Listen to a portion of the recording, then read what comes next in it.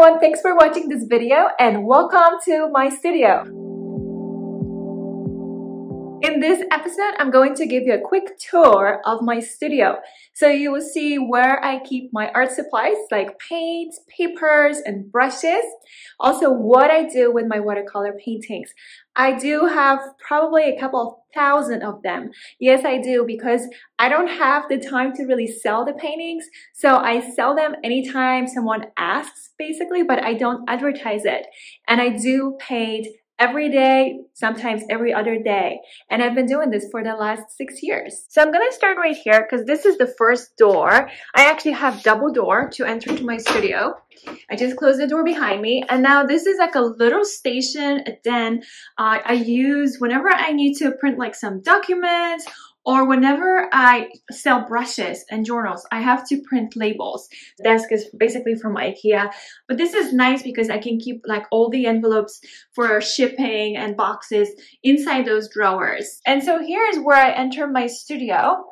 So I have like a little couch, I guess. I never use it really because I always have my paintings here, right? So I do have it also for my daughter because she loves to sit in my studio. I've been painting a lot of birds lately because I'm working on a cover for my line of brushes and also um, I've been doing a series about birds. But this is where I keep some of the paintings and as you can see there's a lot of them. They're also inside this poster bag. It's called a poster bag. I have lots of the paintings inside these boxes and uh, there is another area right here actually. So this is the big printer I have to print like images images, basically like images of my paintings. So they're professionally printed and this is the Canon PIXMA Pro 100 series. Another bag where I have my paintings. I know it doesn't look pretty um, and you would wonder like, are the paintings okay inside? Yes, they are okay because um, the sizes of the paintings like vary and it's from like 5 by 7 cards to 16 by 20 and they're aligned really nicely in there. But it helps to protect them. This is my cutting board mat. This is the mat I use uh, whenever I cut watercolor papers. These are towels, just regular rag towels. I have these for painting because when you see in the second like my table and it's a glass top table, you'll realize that, oh, okay, this is what she does. I use regular bath towels to wipe my brushes on. It's just paper towels never worked for me. So this is the area where I keep them. And then again, this is like the cutting board mat. It's pretty big. It's pretty big and it's pretty much 22 by 30 or something like that. If you're interested in this poster bag, I bought this one on Amazon. It's called a poster bag. It's nice uh, because it's plastic and it just protects my paintings. I have a couple of them over here. It's hard to see it because I have all these papers too. Sometimes I also keep my watercolor papers inside of these uh, poster bags. And so where do I keep my watercolor papers? Pretty much everywhere, everywhere because I want them to be like handy. So I have some under my desk, which I will show you in a second. A lot of them are next to the painting desk, which is kind of behind me there.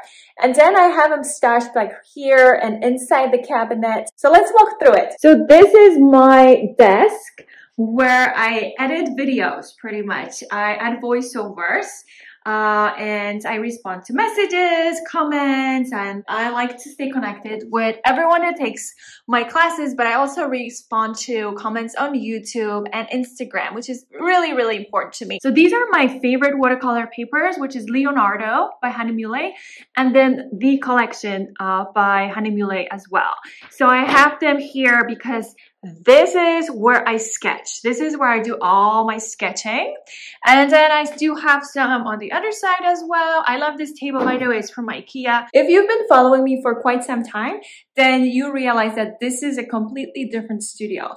So I moved to Orange County. I used to live in Santa Monica, California, and we moved to Orange County, to South Orange County about uh, two years ago, almost two years ago now.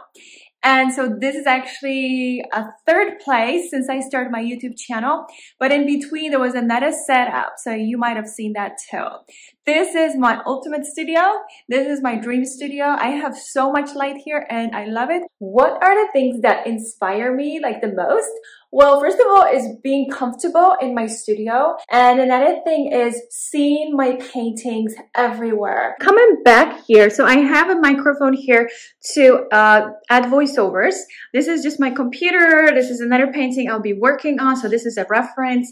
And then I have a color wheel. Okay, if you do not have a color wheel next to you and you are a painter, you need to have a color wheel in front of you so you can work with the colors correctly. So complementary colors. Here are some of the paintings of birds that I've been working on because um, I just finished working and editing the bird series and all these paintings on my wall and swatches for different brands of watercolors. This is where I keep a lot of my watercolors they're still inside the boxes. This is like my backup basically because I have a whole bunch of them next to my working table and I'll show you that in a second. I have more inside here. So as you see, I have plenty of Holbein watercolors because that's the main brand I work with. Uh, what was on top of it is just uh, Princeton's brushes. They use my artwork for their line, uh, Elite line. I'm really proud of it. And then I have another box. This is where I keep Schmincke watercolors, Drop series, which is like liquid watercolors, Collé, which is like the charcoal, liquid charcoal, White Nights watercolors, and Daniel Smith watercolors. Underneath, uh, there's another box. There's Rembrandt watercolors, more Holbein watercolors. Top one is Core. And then I have uh, all gouache by Holbein. So I have lots of colors. Colored pencils by Holbein. I haven't used them much, but I'm planning to. Lots and lots of different brushes. These boxes, by the way, you can buy them uh, on Amazon. I love these. They're very, very handy. And I have uh, more brushes here. Brushes in this box as well. You can see there's way more brushes here. This is where I keep like the old tubes. I can't squeeze any more paint out of these pencils, uh, some markers, nib pen, a palette knife I used to remove the sheets from a watercolor block. This is for the colored pencils, also by Holbein Pencil Blender.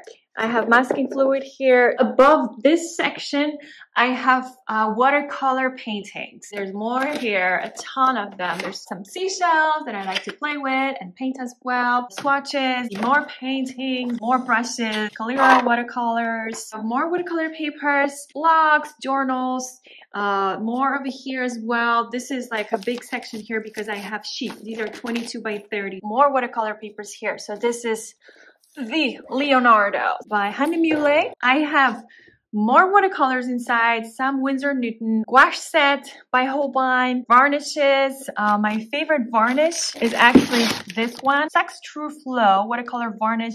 It dries glossy. I love it and I highly recommend it. This one I do not recommend. I think it's a waste of money. It's Schmincke uh, for watercolors. It does nothing because I sprayed my watercolor painting with it. And after it dried, I was still able to lift the colors, play with the painting. I have no idea what is this for. Sponges here, gloss gel. You can actually use this to glue your watercolor painting to a board, for example. Dorland's wax medium, which is also a great alternative to varnish your watercolor painting. Daniel Smith watercolor ground, watercolor pencils as well, the cello bags, uh, mostly to package my watercolor journals. Some of the brushes are here. So these are the golden uh, one, and this is round eight brush. So if you ever buy a brush from me, this is where they are. And then I'm actually awaiting way more brushes to come in the mail, and it's going to be Golden 2 series. So I'm really, really excited. And I do have a few journals, watercolor journals left if you're interested.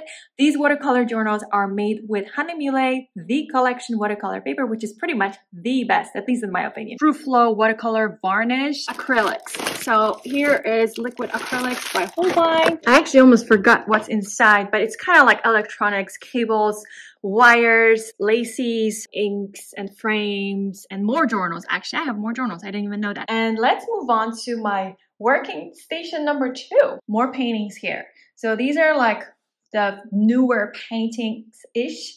Uh, I like to have some paintings here, more paintings here, then I have some jars, aluminum palettes. These are unfinished paintings. Something went off, I just wasn't fully committed to these paintings. And there's my table. This is a glass top table. You can buy this actually also on Amazon or at dickblick.com. This is a plastic palette by Holbein.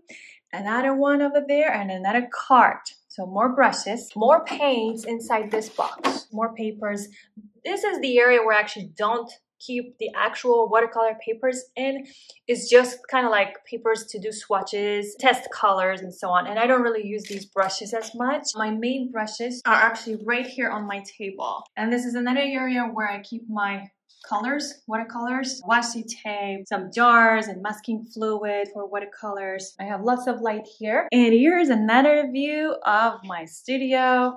So there's my painting desk, and then there's my drawing desk, editing desk, all this big unit with all the art supplies. And then this is kind of my view when I sit in this chair. So when I edit videos, add voiceovers or sketch. It's amazing because this room actually gets the most sun. So I'm really, really, really lucky. And that's about it guys. Thank you so much for watching this video. And please let me know if you have any questions. Please hit the like button and subscribe if you haven't yet.